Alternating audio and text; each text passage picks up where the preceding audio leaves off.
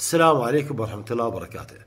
عند هاي المروحة أول بداية الإقلاع مالها بطيء وبعدين إذا استقرت وقامت تفتر ما بها هواء إذا الخلل والعطل هو بالمكثف اللي موجود به لأن هو المسؤول عن بداية الدوران وعن سرعة الدوران.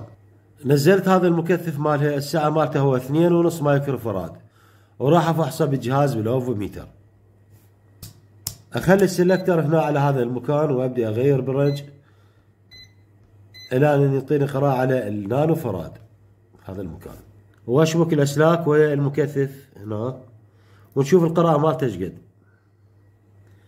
القراءة واحد micro farad. إذا إحنا اللي محتاجينه هو اثنين ونص micro farad. والقراءة واحد ونص. فراح أختبر. وأكو عندي مكثفات راح أفحصها. أشوف فيها اللي مقوي حتى اربطنه بمكان هذا المكثف. هذا مكثف ثاني هم راح افحصنه وأشوف القوة مالته. إذا اشتغل اثنين ونص كفاءته اثنين ونص micro farad اربط المروحة وافحصها بنفس الطريقة مالت الاوفوميتر انطاني 24 nano farad. 24 نانو.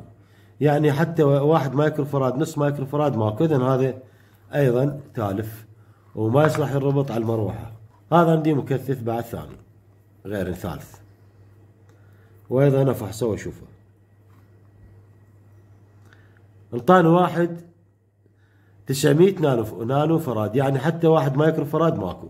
اذا أيضا تالف. أفحص اللي بعده. هذا المكثف القراءة مالته هي 10 micro farad. إذا مست... إذا مستهلك وتعبان وانطاني 2.5 micro farad ماكو مشكلة. راح اربطنه بس إذا القوة مالته كاملة لا.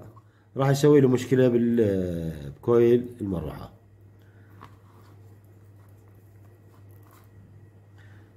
تسعة micro farad القراءة. إذا هذا قوي جدا قوي ومستحيل آه، يتركب على المروحة راح يسوي عطب بها. راح أفحص هذا المكثف.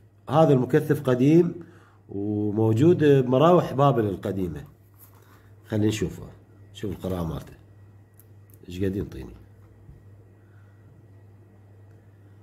انطاني اثنين وثلاثمية وسبعين. يعني آه، وصل لاثنين ونص. طبعا هذا المكثف عمره 3000 سنة قبل الميلاد هذا. وين المراوح القديمة. ويشتغل بكفاءة اثنين ونص. وهاي البضاعة هاي الزبالة الصيني ماكو سنة واحدة وعطلت. كل سنة لازم نبدل مكثف لها. وهذا القديم العراقي القديم الاستيراد العراقي القديم. فراح اربط هذه المروحة وبما أن الصيف على أبواب. راح أكيد تلاقينا الكثير من المشاكل مال دوران المراوح وهذا العطل اللي موجود بها. هاي طريقة فحص المكثفات والمراوح شكرا لكم. والسلام عليكم ورحمة الله وبركاته.